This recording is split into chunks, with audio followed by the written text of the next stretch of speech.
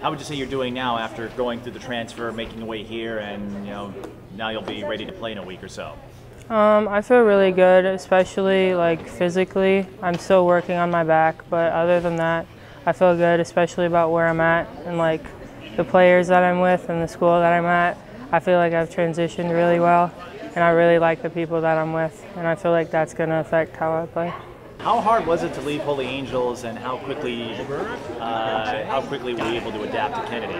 Um, I feel like it was really easy to adapt because I've known a lot of people here, and I've played with the coaches, and I played against some of the players. But it was really hard for me to leave Holy Angels, especially because I've been playing there for five years. So that was pretty tough for me. And then you'll be you'll be playing them in December, and so how?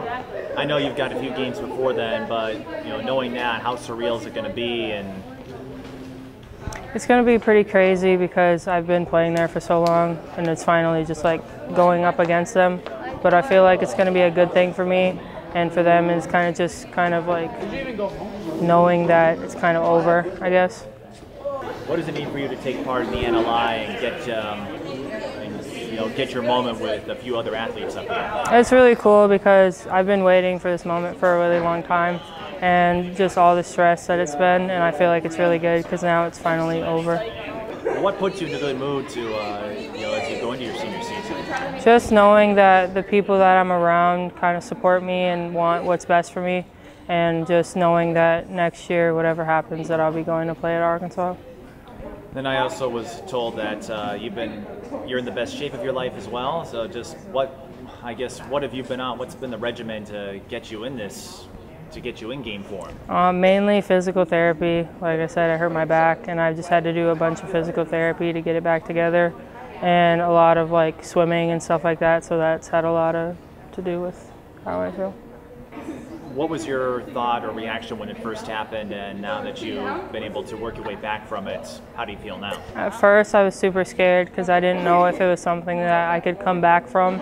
And now that it's been so long since I've played, I've kind of got more of an edge to play. I'm guessing you're the first to go D1 in your family. Um, but yeah, what does that mean for you uh, to blaze a trail, if you know what I mean? Yeah, I think it's really cool, especially because my family is such a basketball family, and they're really proud of me to be there, and it's kind of like living on a dream, I guess. What would you say is the toughest part about changing schools, you know, in where you said you played at Holy Angels for five years and you're changing schools with you know just one year left at the prep level. Yeah.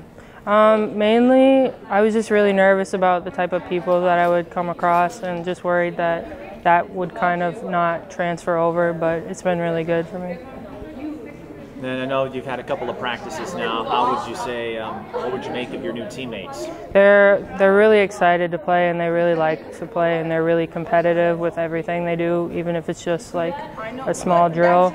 They just want to win, and I feel like that's going to be something that gives us an edge as we go on the season.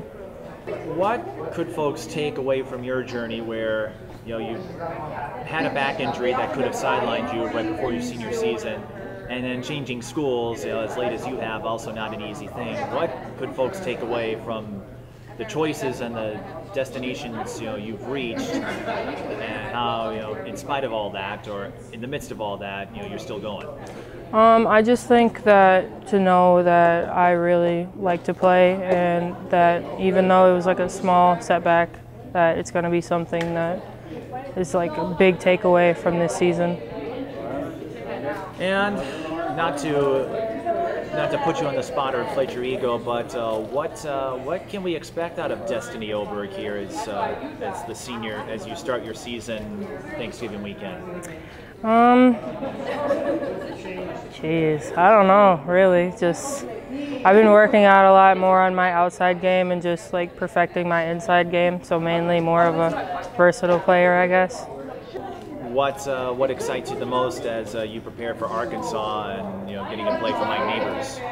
Mainly just the people that I will be playing for because they're such like big basketball fans and just being able to go down there and make them proud. You think you can handle the SEC? Yeah. Yeah.